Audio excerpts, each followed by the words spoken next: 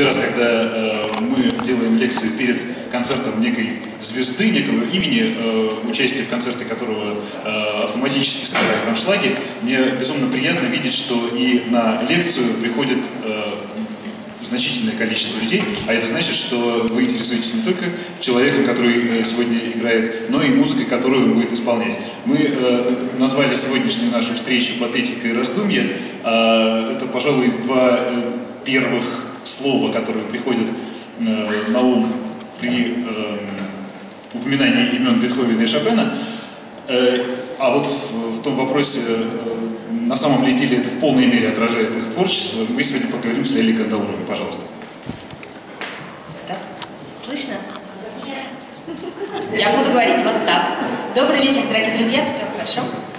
А, сегодня изумительная совершенно программа, будет и барокко, причем а, будет ранний, не, не вполне хорошо нам известный Аган Себастьян Бах, будет очень-очень поздний классицизм, совершенно э, ушедший далеко от любого музыкального и стилевого мейнстрима, очень Э, очень одинокий в своей глухоте и в своей уникальности поздний Бетховен, ну и роскошная, виртуозная, патетическая, прекрасная, во многом хитовая романтика, фортепианные пьесы Шопена.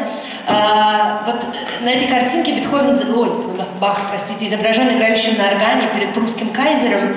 Э, вот я думаю, что любой человек, который любит музыку и в распоряжении которого оказалась бы машина времени, он бы первым делом на ней установил обязательно 20-е годы 18 века и двинул бы прямиком в город Лейпциг для того, чтобы послушать баховские кантаты, а если повезет, может быть, даже премьеру «Страстей по Матфею».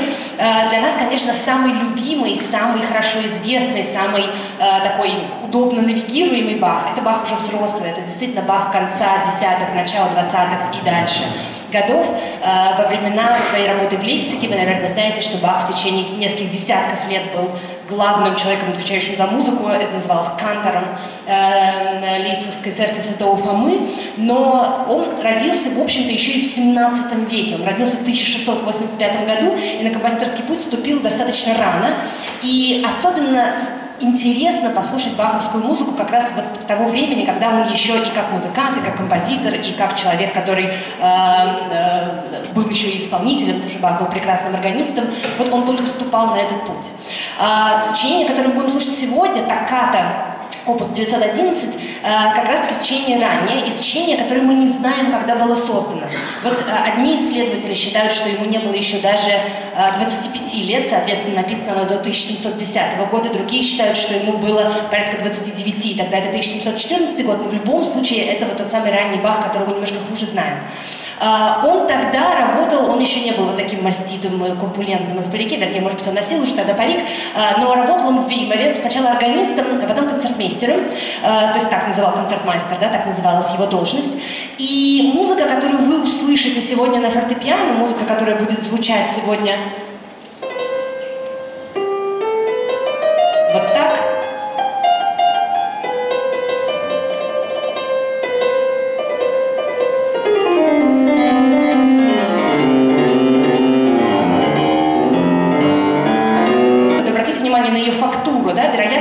слышите, что она предназначалась не вполне для этого инструмента, вернее, не то, что не вполне, а совсем для другого инструмента, предназначалась она для инструмента, который звучал вот так.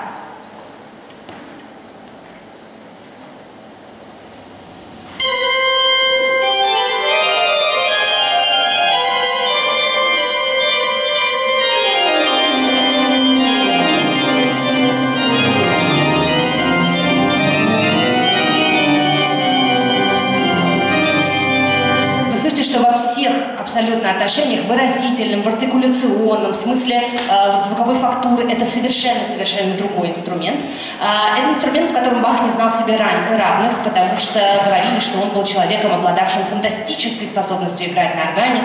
Э, мы сейчас с вами посмотрим, как играют на органе, если вдруг вы никогда этого не видели или видели из зрительного зала, что всегда э, немножко обкрадывает зрителя, потому что это колоссальное шоу, в первую очередь, с визуальной точки зрения. У органа несколько мануалов, у него ножная клавиатура, э, то есть это гигантский механизм, в центре которого сидит исполнитель и управляет им, э, сразу производя огромное количество действий. Но вот Бах был великим исполнителем на органе, великим импровизатором на органе. Представьте себе э, импровизацию с такой штукой, да еще и когда фактура музыки очень сложна, мы с вами, я надеюсь, чуть-чуть успеем про это поговорить. Он э, был человеком, который разбирался в механике органов, его приглашали, приглашали, например, оценивать и чинить их. Одним словом, вот он был крупным, собственно, в Веймаре такова и была его должность, да, он был большим-большим органным авторитетом. А, он в этом смысле шел по стопам человека, который, человек со сложной немецкой фамилией, такой поданное немецкое имя у него, его звали Дитрих Букстехуде. А, история про Букстехуде и Баха, самое главное такая, что в 1705 году Бах, 20-летний, находясь на службе в городе Арнштадт, он направился пешком в город Любек. Как-нибудь для развлечения можете посмотреть в картах какое-то расстояние. Одним словом, это что-то вроде 400 километров. Представьте, что такое было в начале 18 века, преодолеть дистанцию 400 километров. Я думаю, что большую часть времени он на каких-то перекладных или пешком передвигался. Одним словом, зачем он предпринял этот колоссальный пилигримаж, зачем он был ему нужен? Он э, хотел, во-первых, как бы прийти на поклон, во-вторых, прикоснуться напрямую, это эра, которая давала возможность только физического присутствия, да, для того, чтобы узнать о чем-то, к искусству Дитриха Букстехуда, э, великого немецкого органиста и композитора, которому тогда было 68 лет, и он был органистом церкви в городе Любек, это самый север Германии, и вот как приблизительно, это тот же самый жанр, тоже такката, но только Букстехуда.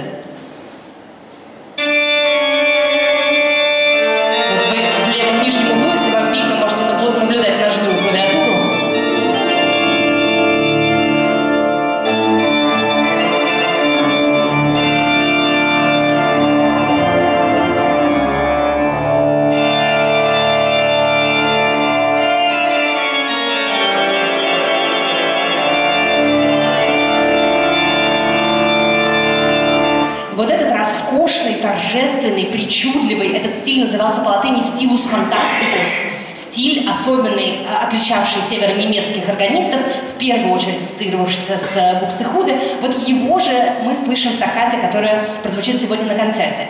Интересно, мы сейчас с вами чуть-чуть поговорим про то, что это за жанр такой вообще токата, но интересно, что называясь просто токатой, она на самом деле состоит из нескольких пьес, которые очень э, хорошо слышны, их границы друг между другом, они очень разные по структуре, потому как они устроены, и, как правило, может быть, вы слышали словосочетание «прелюдия» и «фуга», может быть, вы слышали словосочетание токката и фуга. Вот та-да-дам, та-да-дам, пам, самая такая э, хорошо известная и ставшая поп-хитом баховская музыка. То есть вот такие двойные жанры, они были нормативом. И фактически сегодняшняя токката представляет собой тоже такой двойной, а на самом деле, на внимательный взгляд, даже тройной жанр. Но Бах почему-то решил написать просто токката. Э, что это за жанр такой? Значит, слово «токката» — это вообще очень важное для музыки слово. Если вы им вооружитесь, оно вам во многом поможет в музыке 19 в музыке 20 века особенно. Это жанр, который происходит от итальянского глагола «toccare», что означает «прикасаться». Э, имеется в виду, видимо, быстрое вот такое э, виртуозно, виртуозный бег по клавиатуре, то есть виртуозное касание э, клавиши подряд. И токката первоначально, когда она появилась, появилась она сильно до Баха, в 16 веке. Она представляла собой свободную, прелюдирующую импровизационную пьесу. То есть как бы такой а, полет ораторского искусства, полет красноречивой мысли, который призван предварять что-то. Токката была именно таким вводным, э, эффектным введением во что-то. Именно поэтому она часто группировалась с фугой, токката и фуга, да, вот как я говорила выше. Э, и если токката как раз представляла собой этот свободный полет фантазии, то фуга, наоборот, полная ее противоположность, это царство градации, расчета, математической точности, никакой импровизационности. Правда, это в скобках замечу, что Бах импровизировал фуги, мы сейчас с вами через секунду поговорим, что такое фуга, но вот очень свободная токката, очень жесткая фуга. В сегодняшней токкате будет спрятано и одно, и другое. Сейчас я вам покажу, как оно, где кончается одно и начинается другое. Почему я сказала, что токката важная штука для 19 или 20 века? В 19 веке ее немножко перепридумали, она чуть переосмыслилась, и она начала означать виртуозную пьесу в духе перпетуум мобиле, в духе вечного движения. Вот если вы послушаете токкату Шумана, например, знаменитую, это просто такой виртуозный шквал, взрыв э, э, одинаковых по длительности нот, которые очень быстро, очень текучие, очень э, так, быстролетно проносятся. В В 20 веке, вот если вы когда-нибудь читали, что про свой стиль писал Сергей Сергеевич Прокофьев, он говорил, что токатность, вот это свойство быстрого, как будто представьте себе стрекочущий работающий механизм, или как вот кто-то, кто быстро пишет на пишущей машинке, да, вот такого рода механическая токатность была его важнейшим э, свойством, была одним из э, свойств его музыки, то есть в 20 веке тоже с открытием механизации и вообще с увлечением музыки всем механическим, вот этот токатный стиль был очень востребован. Но мы с вами пока в 18 веке, пока что это вот такое цветистое введение во что-то, что должно воспоследовать. Что же должно воспоследовать? Воспоследовать должна фуга, которая представляет собой многоголосное сочинение. Смотрите, что сейчас будет происходить.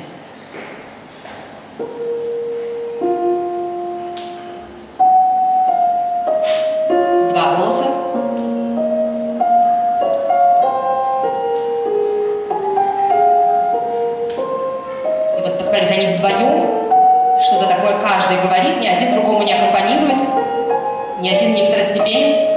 Внимание. Три. Четыре.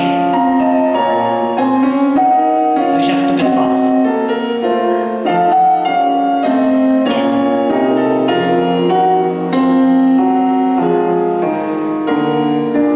Я думаю, что здесь вот по этому видео прям супер понятно, что такое полифония, да, мы видим многоголосную эту многоэтажную ткань, ну и самые глазастые или ушастые, если вам не было видно, наверное, заметили, что все голоса начинали с одного и того же, с одного и того же позывного, да, это был нисходящий такой скачок, этот позывной называется темой, и кратко мы с вами, собственно, суть фуги уже ухватили, это полифоническая, многоголосная музыка, где голоса э, ну вот как в детской игре, они перебрасываются одной и той же темой, имитируя друг друга. Этот эффект называется имитация, это старая-старая полифоническая техника.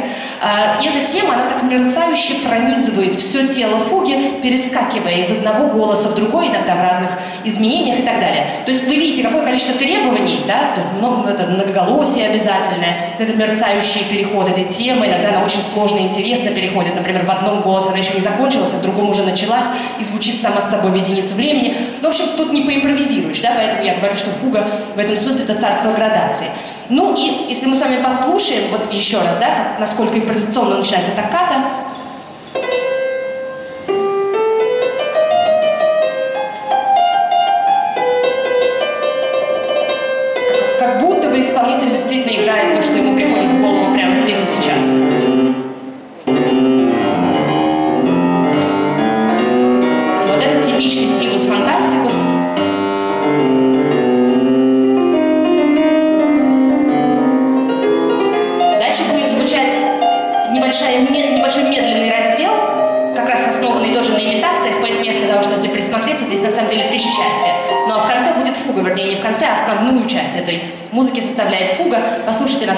иначе она устроена. Вот как мы сразу чувствуем рациональный контроль.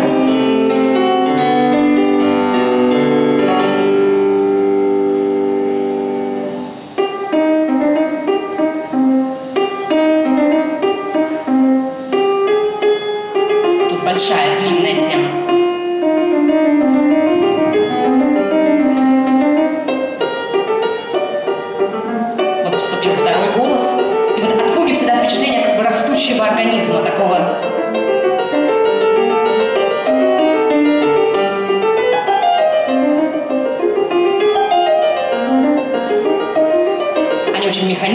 да, они вот так, э, э, таким обладают, да, обладают инерцией, как бы и поступью гораздо более решительной, чем в начале импровизационная это токката, поэтому Фуги очень любил, опять же, увлекавшийся механизмами 20 век.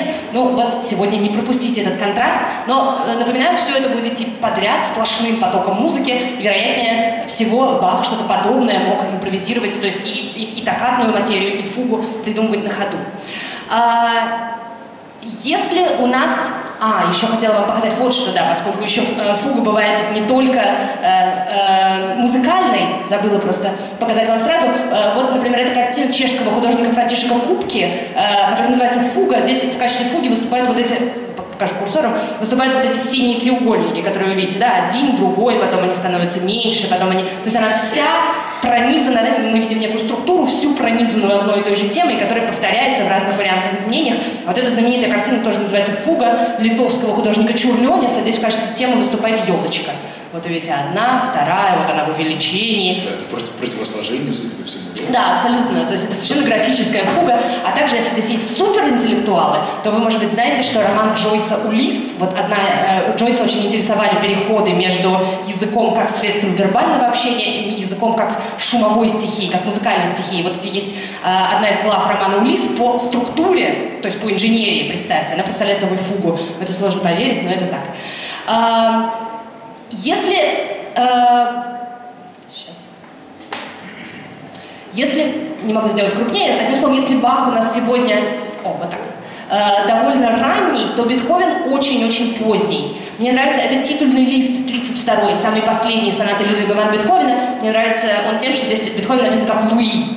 То есть э, издание было французским. А, вы, наверное, знаете, что у Бетховена 32 фортепианные сонаты. Это колоссальная эпопея, которая растянулась во всю его жизнь, и он, вероятно, не задумывал ее как э, цикл, и, наверное, даже не предполагал, что когда-нибудь найдутся пианисты-титаны, а такие были, которые в несколько концертных вечеров играли ее как цикл. Э, если сыграть подряд, ну или вообразить их сыгранными, или прослушать подряд все 32 сонаты Бетховена, этот цикл занимает 11 с лишним часов. Вот эта последняя из них, она была написана между 21 и 22 годом, уже 1800, мы с вами уже в 19 веке. А, Бетховен к тому времени уже абсолютно глух, он последние 9 лет своей жизни провел в совершенной кромешной тишине, если можно так сказать. И, э, собственно, написано им задолго до смерти, Бетховен умрет в 1827 году, да, а это вот 21-22. Э, соната это, это прекрасный образец стиля что, простите? Эта соната прекрасный образец стиля позднего Бетховена, потому что, э, ну, прямо вот с какой стороны не подойти, она очень здорово его иллюстрирует. Во-первых, это интерес к старинному, это интерес Бетховена к барокко, это как бы точка, где Бетховен подключается к Баху, а может быть даже и к добаховской музыке, потому что вы должны понимать, большую часть музыки Баха Бетховену была незнакома. Бах после своей смерти в 1750 году впадает в абсолютное забвение, и ренессанс его уже после смерти Бетховена начнется в 19 веке, то есть э, это, ну, не знаю что, визионерство, творческая интуиция, то есть никакого прямого влияния здесь быть не могло. Бетховен, без сомнения, знал, кто это такой, но большую часть нам знакомой сейчас музыки Баха Бетховен не слышал. А, почему мы говорим, что, ну мы сейчас с вами послушаем, да, почему мы говорим, что там барочные э, как будто бы влияния. Э, вторая часть соната, которую сегодня вы послушайте, э, поражает своей церковностью. То есть есть полное впечатление, что это старинная духовная музыка, причем, повторюсь, написанная в разгар XIX века, вот уже на границе классического и романтического стиля. Это во-первых. Во-вторых, поздний Бетховен это всегда про нарушение правил. Что не возьми. То есть он может писать симфонию, и в последнюю часть симфонии он впихнет хоры солистов, э, вокальную музыку, которую не должно быть в симфонической ткани. Он пишет квартет, и он вместо, вам, наверное, известно, что канонический квартет, вот когда все чин-чинарем, он четырехчастный. Он вдруг пишет семичастный квартет. Э, если он пишет сонату, которая тоже должна быть четырехчастной, то соната обязательно окажется тоже какой-нибудь кривой и необыкновенной, как эта э, соната, которая, ну, э, по сути, двухчастно, хотя внутри там происходит такое количество событий, членения на, на, на мелкие разделы, что мы можем ее интерпретировать и так, и это. То есть э, Бетховен начинает, еще не подозревая о романтизме и еще не будучи, конечно, романтиком, он начинает немножко как романтик вести себя с жанром, э, очень смело его э, модифицировать, очень смело его менять, очень смело нарушать правила. Когда его спросили, почему эта соната двухчастная, а для нас сейчас нарушение правил жанра это какая-то такая вещь, ну, простая. Хочу пишу двухчастную сонату, хочу пяти, хочу семи, хочу еще как-нибудь назову, там вообще как не соната. Мы должны понимать, что жанр был в начале 19 века вещью невероятно эм, диктующей, да, вещью невероятно императивной. То есть это штука, которую нельзя было... Она вызывала вопросы, почему вдруг мы всегда строили собор по одному, а сейчас строим по-другому. И вот когда Бетховена спросили, а почему же, что случилось, почему соната двухчастная, он сказал, что у него, внимание, не было времени ее дописать. Вот вы сегодня, когда будете слушать эту музыку, это уже последнее, что приходит в голову, э, э, что человек находился в спешке или вообще была задача наличием или отсутствием у него времени, человек, который ее писал.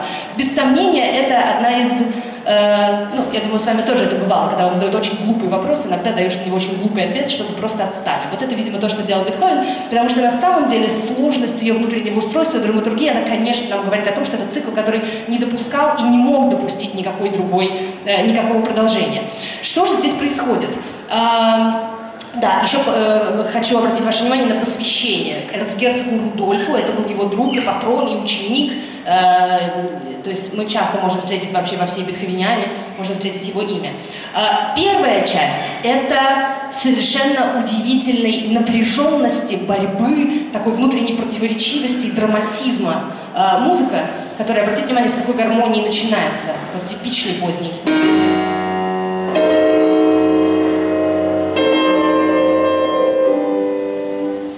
Внимание, что Бетховен начинает с диссонантной гармонии, начинает с проблемы, да, он сразу начинает с очень остро ставимого вопроса.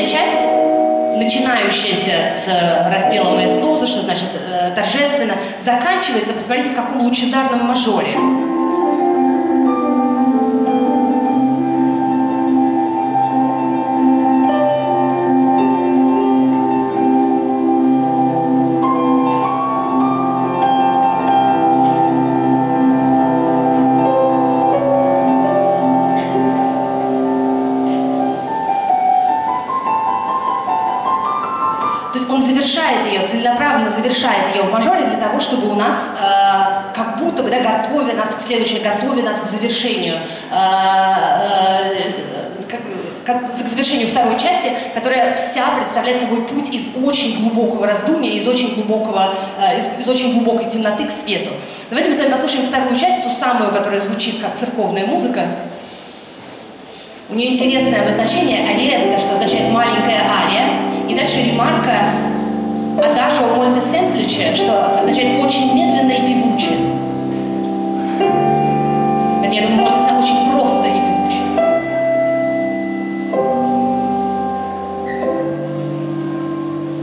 Вот обратите внимание, да, на эффект как будто бы поющего церковного хора.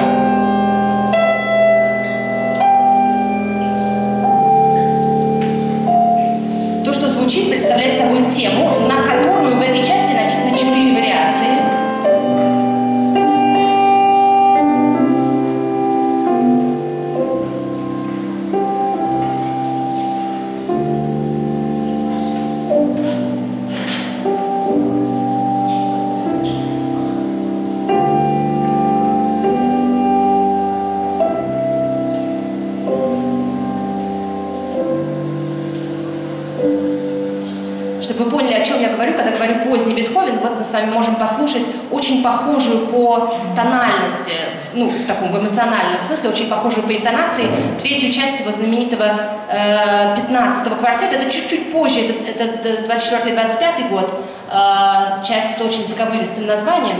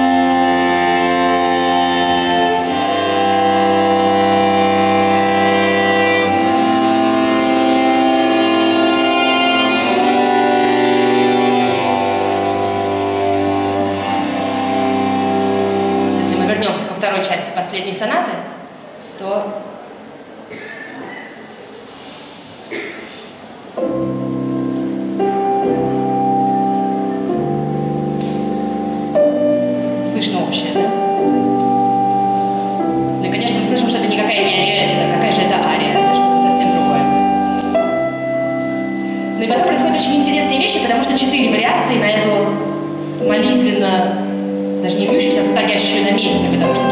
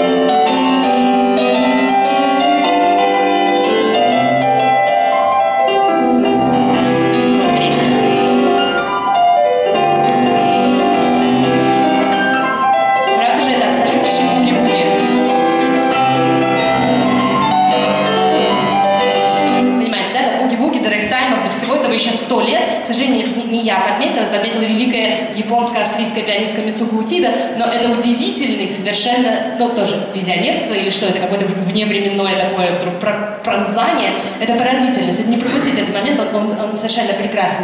И вот посмотрите, как из совершенной статуарности, как из некой абсолютно за- застывшей, замершей, бессобытийной молитвы, постепенно насыщается событиями один и тот же медленный-медленный пульс, вот насколько он уже здесь.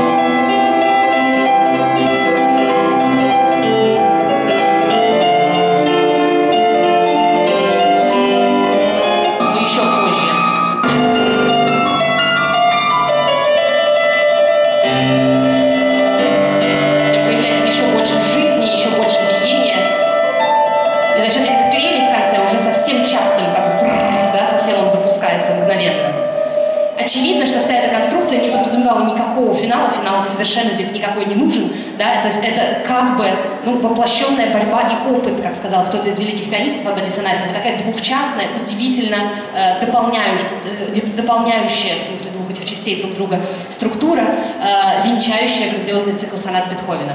Вот очень ранний Бах, очень поздний Бетховен, а Шопен, как я сказала, будет а, очень классическим. Он будет вот как раз тем, который вы сегодня, если э, вдруг вы э, подозреваете, что не знаете эту музыку, да, то вы сегодня на самом деле окажетесь э, удивлены, потому что вы большую ее часть, конечно, прекрасно знаете. Эта музыка безумно любимая исполнителями, и, э, и слушателями. Э, Шопен, кстати говоря, и знал, и любил 32-ю сонату Бетховена. Это было неординарно и не очевидно, потому что поздний Бетховен был плохо понятен современ... он плохо понятен нам, а уж современникам тем, тем паче. А, Это очень юный Шопен, это 25-летний Шопен. А, Эту картину рисовала его тогдашняя невеста, а, польская барышня по имени Мария Бадзинская. Я покажу вам фотографию позднего Шопена, которую вы все наверняка знаете. Он здесь выглядит человеком уставшим и, и- и не вполне счастливым. В сущности, он человек очень молодой. По нынешним меркам так вообще совсем мало. Ему 39 лет было, когда он умер. Он родился в 810 году, то есть Бетховен был еще жив, и умер в 49-м. Э, Самое важное про Шопена э, это его такая двойная идентичность, потому что, с одной стороны, это был человек, который родился в Польше, который считал себя поляком, который сочувствовал всему польскому, который э, родным языком своим считал польский и так, в общем, было на всю жизнь и очень педалировал свою польскость, но при этом он половину жизни прожил в Париже. Этнически он тоже во многом был связан с Францией, потому что отец его был поляком, он был иммигрантом из Франции в Польшу, человеком, который очень полюбил свою вторую родину настолько, что он, женившись на польке, э, например, настаивал на том, чтобы польский был э, домашним языком. Но э, это не только вот такая какая-то географическая промежуточность, да, потому что, в общем, неважно, в какой стране ты живешь, ну, даже на каком языке ты говоришь, во многом тоже, а, это еще и культурная двойственность, потому что, с одной стороны, огромное количество польских жанров, польских фольклорных корней, польских э, э, корней, связанных с Э, культурным, вообще с общим культурным фоном, да, не только с музыкой, они переплетаются с абсолютно французской изысканностью, с абсолютно французской э, такой салонной романтической виртуозностью. Вы, может быть, знаете, что э, великим э, современником Шопена был Ференц Лист, человек, который так же, как и Шопен, был великим композитором и великим пианистом, вероятно, для своей эпохи, даже сначала пианистом, а потом композитором. И это два очень разных человека, потому что Лист был э, поп-звездой, он был эстрадным э, таким суперменом, человеком, рояль которого инспектировали на предмет того, что там могут быть встроены какие-то секретные механизмы, позволяющие ему играть настолько сверхчеловечески совершенно. И это был человек, который был мастером шоу и мастером крупной техники. Э, Шопен, человек с небольшими руками, человек с очень специфическим темпераментом, он был очень закрытый, он был эпохондричный, он был э, застенчивый до зажатости, он был невероятной утонченности, человек совершенно болезненно нетерпимый никакой мишуре, ни к чему показному, абсолютно э, невосприимчивый к этому. Ну, коротко, Шопен человек, любимым композитором которого был Моцарт. Да? Мы говорим, что вот, да, действительно, патетика первое, что приходит в голову, когда говоришь Шопене, это был человек огромной внутренней чистоты и такой, ну, брезгливости к романтическому излишеству. А, вот э, мы привыкли считать, что он был мастером э, мелкой, жемчужной, бисерной техники, э, и э, играл он зачастую, он э, не давал, э, например, таких колоссальных концертных турне, которые давал Лист, да, вот так вот шквально разъезжая по Европе. А это во многом салонная, в хорошем смысле, да, не, не в смысле поверхностности и жеманства, а в хорошем смысле салонная игра, ориентированная очень в полголоса, очень малому кругу людей, которые, э, которые ее достойны, да, которые, которым она может быть доверена. Наиболее прославленное биографическое обстоятельство жизни Шопена, вот можем также посмотреть на его посмертную маску, э, это, ну, может быть, банальное такое обстоятельство, но я позволю себе его вам напомнить. Это его роман с прославленной писательницей и одной из первых феминисток в истории Жорж Санд. Роман поразительно э, такой просящийся какую-то билетристику, потому что, ну, от чего одна только стоит история о том, как Жорж Санд, она организовала такой просто э, организованный план э, поимки и, и заполучения, который удался в результате. Они были очень-очень разными. Жорж Санд как раз была очень э, напориста, очень мужественна, она эпатировала и далее. Это было совершенно неприемлемо носить мужское платье, курить. Это невероятно было, да, и Шопен, человек очень утонченный и совершенно бежавший от любого избыточного внимания. Э, роман, кульминационным эпизодом которого является хорошо известный визит на, Май на Майорку. Это был 38 год, ему было как раз 20 8 лет, и это что-то, что звучит как прекрасный курортный романтический рай, но на самом деле обернулось это все ужасно, потому что э, это была зима, и ухудшился его туберкулез, который в результате от которого он и умер, и он очень болел там. Э, э, с Жорж Санд во многом связана и музыка, которую мы сегодня с вами э, будем слушать. Э, в первую очередь, например, героический полонез, который, ну, один из самых-самых известных опусов, можем с вами начать его слушать в прекрасном ретро-исполнении э, Arturo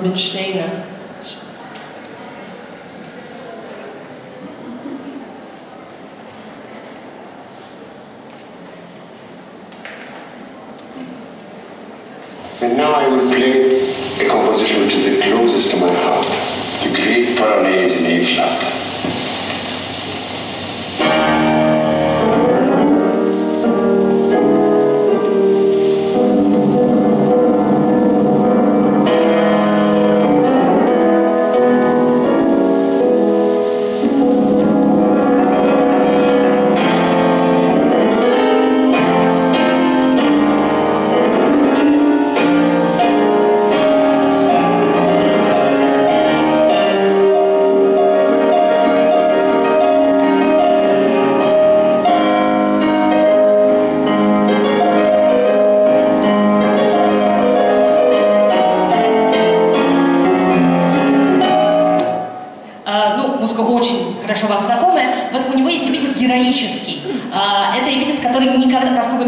A flat.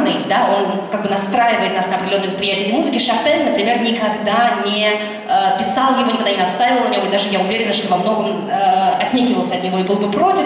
Это эпитет, который много позже, чем, собственно, само сочинение появился. Сочинение появилось в 1942 году, а вы, может быть, знаете, что в 1948 году по Европе прокатилась череда революций. Началось все, э, кажется, на Сицилии, потом была Франция, и и так далее. Когда э, революционная эта волна достигла Франции, Жорж Санд невероятным энтузиазмом, как все интеллектуалы того времени, ее встретившая, она э, писала Шопену, что вот в этой музыке, которая, да, повторюсь, несколько лет, за несколько лет до этого была сочинена, ей э, слышится и вдохновение, и мощь, и увлеченность, и сила вот этого э, такого революционного, протестного, героического чего-то, и что вот он для нее является э, э, таким вот программным символом вот этого революционного воздуха, или грозы, носившейся в воздухе, и э, он очень ее смысле вдохновлял.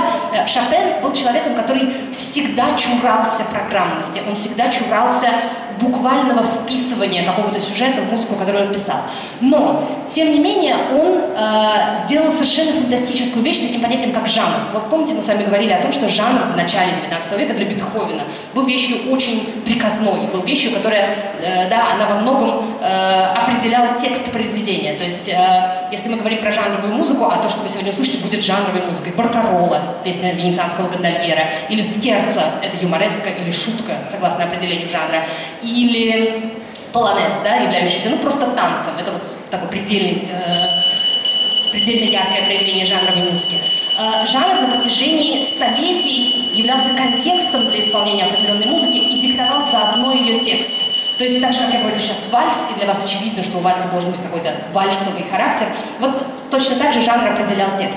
У Шопена это вдруг начинает работать совсем по-другому. Ноктюрн, который вы сегодня услышите, безумно далек от определения ноктюрн в энциклопедии, да, ночная песня, которая представляет собой какое-то томное, амурное излияние под сенью темноты. Это огромная, развернутая, драматическая, колоссально насыщенная событиями поэма.